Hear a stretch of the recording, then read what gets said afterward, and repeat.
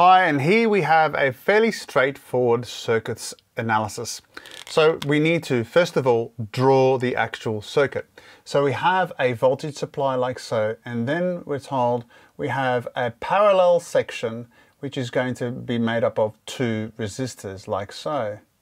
Then this parallel section is put into series with another resistor like so, and then we complete the circuit. Now it's important to label your diagram, and so what we have is 20 volts here, we have 10 ohms here, we have 5 ohms here, and another 2 ohms here.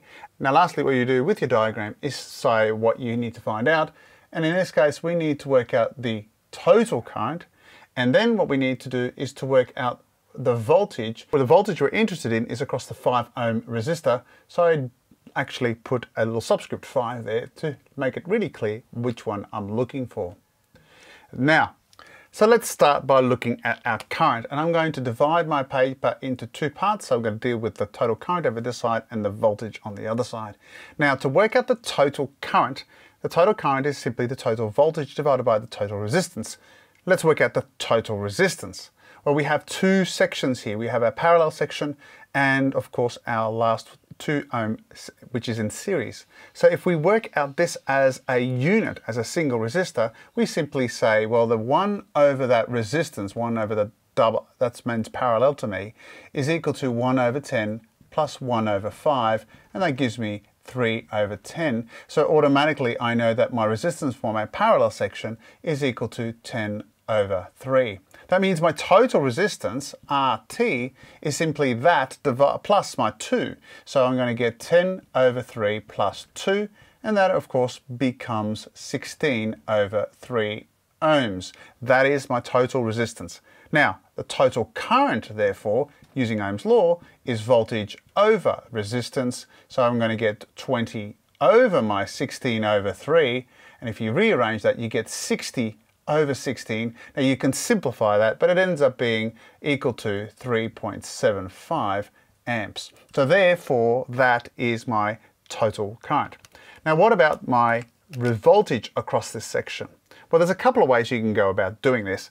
The one way you can do this is, is work out the voltage drop here and therefore the remaining voltage drop is going to be the difference between the drop here and the 20 volts. So that's one way of doing it. The other way is to know that we are getting 3.75 amps into the circuit. And because of Ohm's law, see how the ratio is a 10 to 5 or 2 to 1, then we'll have, in terms of ratios, twice as much current from this 3.75 going into the 5 ohm resistor and only one uh, for every one part of going through the 10 ohm resistor and you can use that principle to work out what the current is in this and that also give you the voltage drop across there. Of course the voltage drop across the 5 ohm resistor is the same as the voltage across the 10 ohm resistor. Now that's probably a little bit more complex so I'm going to do the former method. How do we do that? Well we know the total current is equal to 3.75 so therefore the voltage drop in my 2 ohm resistor is equal to the current, which we already know is 3.75, multiplied by my resistance, which is 2. So that's going to give me a value of 7.5 volts. Now, that's the voltage drop across this guy.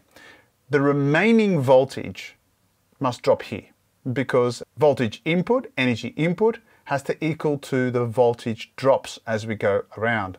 So as a result, we're going to get my voltage across my phone. Remember, this is parallel, so this is the same for these two values here, is equal to 20 minus my 7.5, and I'm going to get a value of 12.5 volts.